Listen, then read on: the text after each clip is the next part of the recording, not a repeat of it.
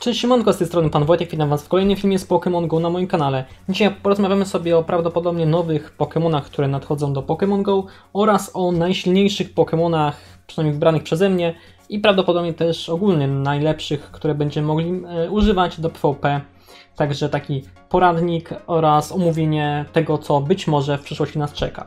Zanim oczywiście jednak zaczniemy, wybiorę kolejną osobę, która wygrała Pokécoinsy e, pod ostatnim filmem, czyli musiała zostawić łapeczkę w górę i subskrybować mój kanał, oczywiście napisać jakiś komentarz, więc polecam to teraz zrobić, to może wygracie w kolejnym filmie Pokecoinsy, a tą osobą, która wygrała w ostatnim filmie jest Freestyler86. Subuję, łapkuję, dzwonkuję, jako że masz łapkę, zostawiono mi e, subskrypcję oczywiście na swoim kanale, to e, zgłoś się do mnie na fanpage, e, z jakimś tam screenem, że to konto na YouTube należy do Ciebie i wtedy Ci te Pokecoinsy kupię. Także gratuluję, a reszcie życzę powodzenia w kolejnym losowaniu, e, które oczywiście wyniki którego będą na kolejnym filmie, także polecam zasubskrybować kanał, żeby nie przegapić wyników. No i oczywiście zapraszam też na dzisiejszy stream, który będzie koło 21 pewnie. Dzisiaj postaram się robić takie, takie troszeczkę coś nowego, coś na właśnie z okazji Mikołajek, więc mam nadzieję, że wpadniecie y, jakąś tam większą grupą, bo no będą jakieś tam niespodzianki, więc polecam bardzo serdecznie, mam nadzieję, że Wam coś tam się spodoba. Poza tym oczywiście łapię tam widzą Pokémon na live, tak dalej Wam będę łapał dzisiaj także, y, czy tam szukał Shiny, czy robił rajdy, czy łapał Pokémon regionalne, co tam kto tam będzie chciał, z tych osób, które oczywiście wspierają streama, także to by było chyba na tyle i już mogę Was zaprosić na ten dzisiejszy odcinek. Także nie przedłużam i lecimy z materiałem.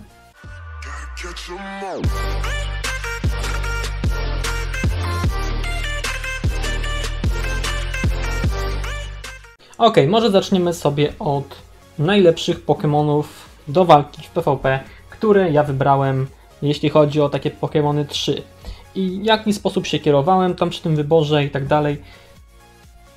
Wybrałem pierwszego Pokémona, który jest, wydaje mi się, wyborem takim najbardziej rozsądnym.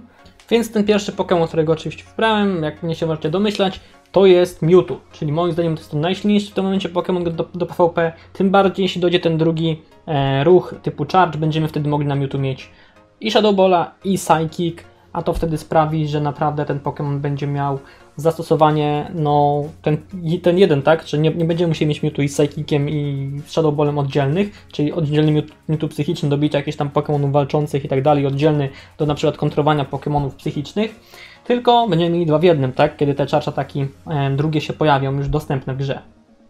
A będzie to pewnie od razu z wejściem PvP raczej na pewno, bo oczywiście jest to e, dodatek, który został właśnie wprowadzony wraz e, z tym nowym systemem PvP. No więc jeśli pierwszy Mewtwo, to jaki Pokémon miałby być drugi, prawda?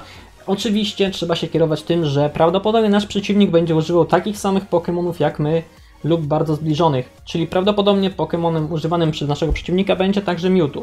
No i teraz, jaki Pokémon jest najlepszy do walki z Mewtwo? Drugim Pokémonem, którego bym stawił w kolejności, byłby Tyranitar. Tylko nie Tyranitar ze Smackdownem i Stone Edge'em, tylko Tyranitar z Bite'em i Crunchem. No i do tego może być jakiś tam atak Stone Edge na przykład, prawda? E, dlaczego tak, a nie inaczej? Ponieważ Tyranitar jest najlepszą kontrą na Mewtwo.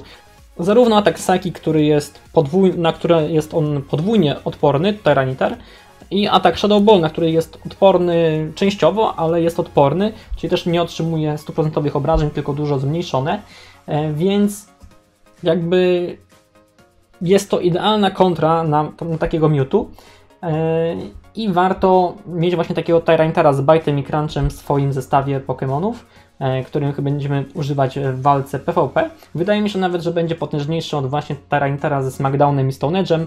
W PvP oczywiście, bo na rajdach wciąż ten Pokémon będzie wymiatał i będzie chyba jednak deklasował tego Tyrantara z, mro- z mrocznymi movesetami przynajmniej. Oczywiście wszystko zależy od tego, jakie Pokémony są na rajdach. Jeśli są Pokémony psychiczne, to wiadomo, że z Bite'em i Crunchem Tyrantar będzie wtedy bardziej efektywny, ale jeśli chodzi o ataki kamienne, no to wiadomo, że zadają więcej obrażeń.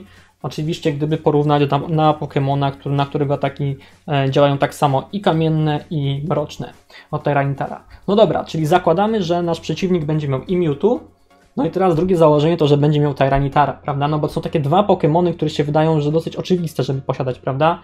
Ewentualnie ktoś może mieć jeszcze jakiegoś smoka e, w swoim zestawie i wtedy może się jednak przydać u tego Tyranitara ten Smackdown, przepraszam, ten, e, ten Stone Edge. no można to też rozważyć, prawda? Czy Stonehead, czy może jednak Fire Blast. Fire Blast na ewentualnie jakiegoś trawastego Pokémona, ale wydaje mi się, że Smok tutaj jest bardziej możliwy.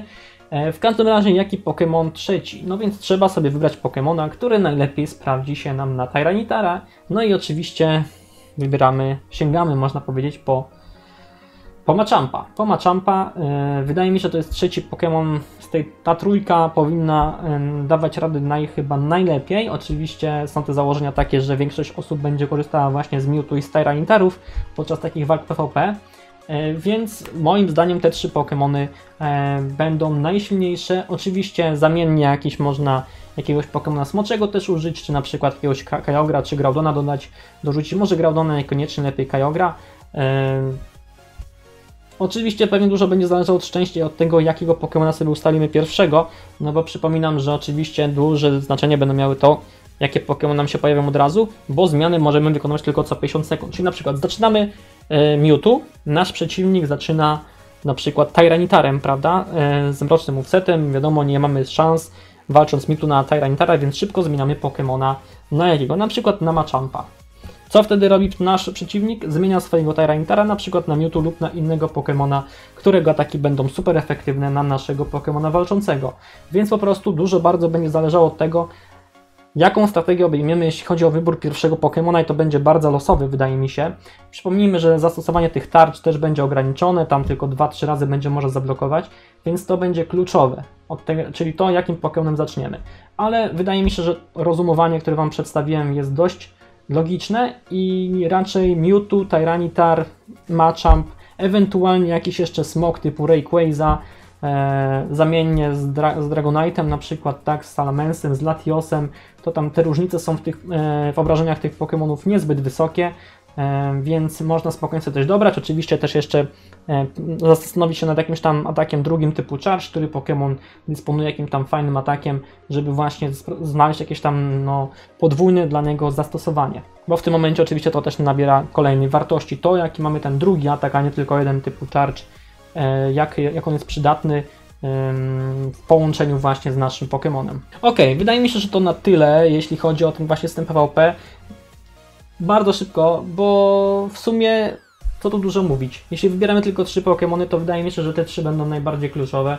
Oczywiście można prowadzić jakąś rotację, na przykład jeśli nie masz Tyranitara z mrocznym usetem, użyj innego mrocznego Pokémona. Jeśli nie masz e, na przykład Mewtwo, to użyj Alakazama na przykład, prawda?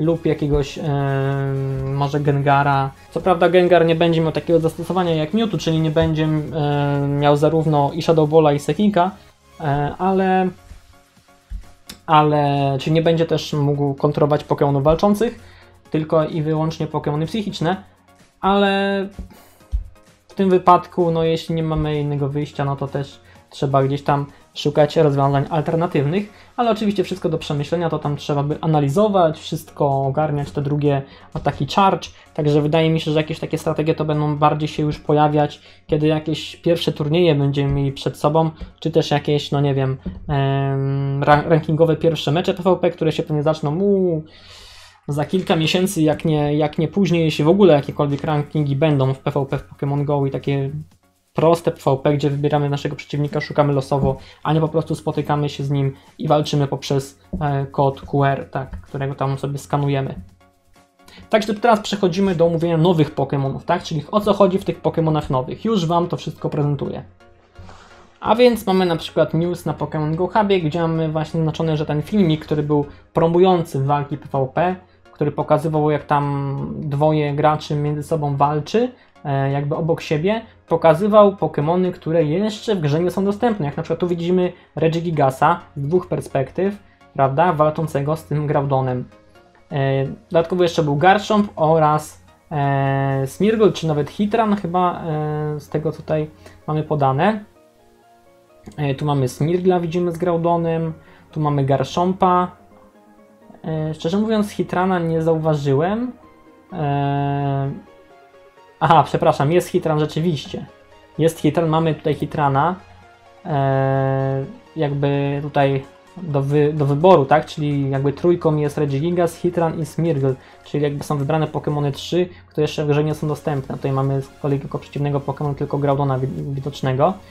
Także, no, przyznam szczerze, że chyba najbliższe legendarne Pokémony e, dostępne na rajdach pięciogwiazdkowych, oczywiście Pokémony będą no jednak także z tej nowej generacji. Oczywiście nie, niekoniecznie to musi dotyczyć e, tego, co będzie przed nami w najbliższym czasie, bo to, że takie mamy Pokémon tutaj zaprezentowane, zaprezentowane, a nie inne na tym filmie pokazowym, wcale nie znaczy, że to się pojawi w najbliższych miesiącach w grze. Może się pojawić e, z, z jakimś tam większym opóźnieniem i tak dalej. To, że są te Pokémony gotowe, no to po prostu tyle, tyle wiemy i E, I to w sumie mogliśmy też się domyślać, bo tak naprawdę przygotowanie takich Pokémon, takich modeli, które wcześniej były też dostępne, gdzieś tam e, można było znaleźć przecieki, jak one wyglądają, jak się prezentują te Pokémony. E, jeśli chodzi o właśnie animacje w Pokémon Go, to też już dodanie samych ataków i wprowadzenie ich na, na serwer gry też nie, nie, nie stanowi jakiegoś wielkiego problemu e, dla tutaj twórców e, Pokémon Go, czyli Niantic. Także to taki news, możemy się spekulować, napiszcie co wy o tym sądzicie, kiedy takie Pokémony, e, kiedy te Pokémony mogą się pojawić. E, Smirgl to raczej jakiegoś eventu trzeba się tutaj e, spodziewać, tak jak było z Deliberdem. Oczywiście czekam na wasze komentarze, zachęcam oczywiście do aktywności jak najbardziej. Zapraszam też do wbijania na live codziennie około 21. Tam też możecie sobie ze mną pogadać na różne tematy związane właśnie z Pokémon Go, czy nawet nie tylko, ale e, głównie właśnie o tej e, grze sobie rozmawiamy, spekulujemy na temat różnych e, update'ów, aktualizacji, prawda, czy też eventów przyszłych, które mogą się pojawić e, w tejże grze. A póki co, jeśli chodzi o ten news, to chyba było, było na tyle. Także dziękuję Wam za wytrwanie do końca. Mam nadzieję, że film był dla Was atrakcyjny, że Wam się podobał. Zapraszam jeszcze raz na mój stream dzisiejszy, około 21, będzie taki troszeczkę mikołajkowy stream. Mam nadzieję, że Wam się spodobają nowości, jakie tam będą dostępne. Mam nadzieję, że to mi się uda wszystko ogarnąć. Jeśli nie, to przepraszam, ale stream oczywiście będzie na pewno, więc zapraszam bardzo serdecznie. E, oczywiście łapie tam widzą Pokémon, robię Wam rajdy. E, jeśli ktoś chce wygrać karty Pokémon albo konto 300 level, to też można oczywiście na moich streamach więc polecam e, bardzo serdecznie, e, wbijać codziennie.